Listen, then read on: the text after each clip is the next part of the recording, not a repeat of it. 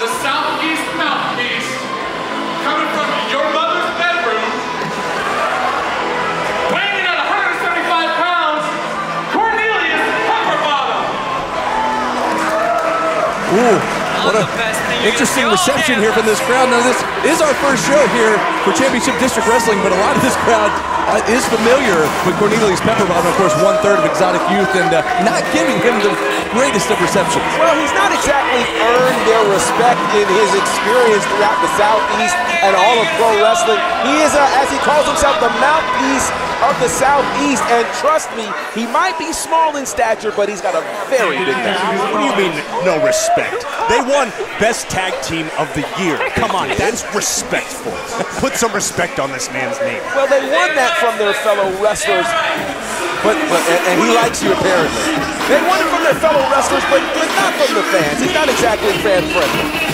He doesn't need the fans to be violent, to be brutal, to take what he wants. He's going to have his hands full here with his opponent. And this guy.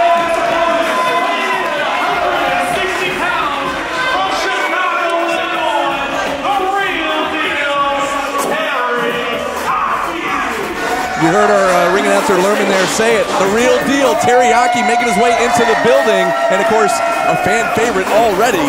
Absolutely. He has really been all over the place. And I remember seeing him right there training at the Nightmare Factory, an amazing prospect. And he's been all over the place in this first year in the business for him.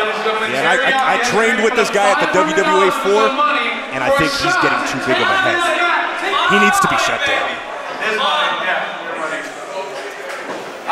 There you go. Are y'all ready? Are y'all, are y'all gonna got this? Let's do it. Ring the bell. In case you didn't hear, Yaki had put up money in this match. By the way, I guess Lerman's going to be an official as well. He's calling for the bell, but our official also called for the bell. So here we go. You're right, uh, Spectre. Teriyaki put up $500 to anyone in the gauntlet match later on tonight, the Diamond Championship Gauntlet, to anybody to face him, and if he wins, he gets their spot in the gauntlet. And I would have gone after it, but they paid me to be here instead.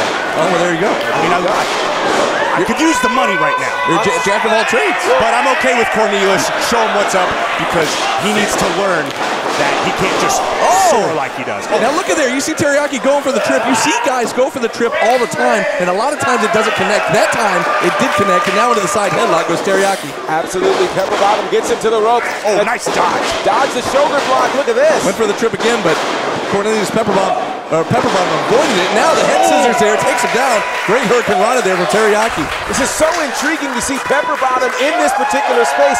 Teriyaki is very used to being the quicker and smaller man in most of his matches, but already he has certainly the power advantage and maybe even the quickness advantage as well. Oh, he just got hung up on the top rope there by Pepperbottom. Yeah, you don't know what Pepper Bottom's going to bring, though.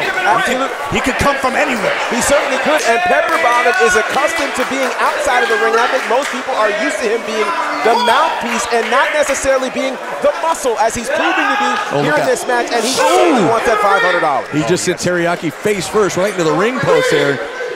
Teriyaki felt every single bit of that. Absolutely, and remember, it is a 10 count here in Championship District Wrestling to get your opponent back in the ring. Uh, Pepper Bottom has got Yaki in the ring, and again, really, however, Pepper Bottom, if he wins this match even by count out, it will certainly count to get him into the gauntlet match tonight. And the $500, don't forget that. And that $500.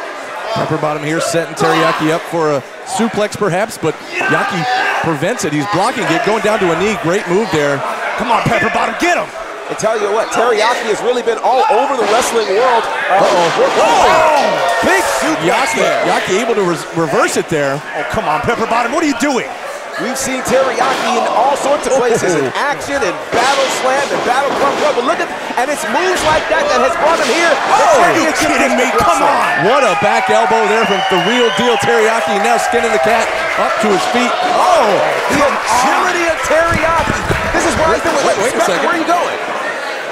Spectre here, our third, third member of the commentary booth, is Has, left the, as, as Teriyaki just laid him out. Pepperbottom with oh a two count there for Teriyaki. now, for the record, we don't tend to get involved in these kinds of matches, but uh, Spectre, what, what, I'm what's tired of happening you? seeing this. This is, oh, this is. What, what's happening here? What is he doing? What, where is Spectre going? Spectre just left the booth here, now getting up on the ring apron. What is he doing? Oh, quick roll up here for Pepper Bottom. There we go. Two. Wait, No wait a minute. Now come on. Now come on. Why is Spectre helping out Pepper Bottom there. And now Pepper Bottom got the victory over Teriyaki. Now Spectre getting in the ring and getting in the. Wait a second. And now it seems as though Spectre and Pepper Bottom are working together. Whoa! Now just double teaming Teriyaki as he threw the referee out of the way. And Spectre could get fined already for throwing the referee out. I mean, you're not supposed to have contact with the referee at this point. Meanwhile, this is a crazy double team happening. Spectre. Uh-oh, look out. No, no, no, no, no. Oh! oh! Cradle power driver. Planted him squarely on his head right there in the center of the ring. I had no idea Spectre was going to leave the booth. We've been sharing the booth all this guy. We had preparation for tonight, and I had no idea this was in, in, in store.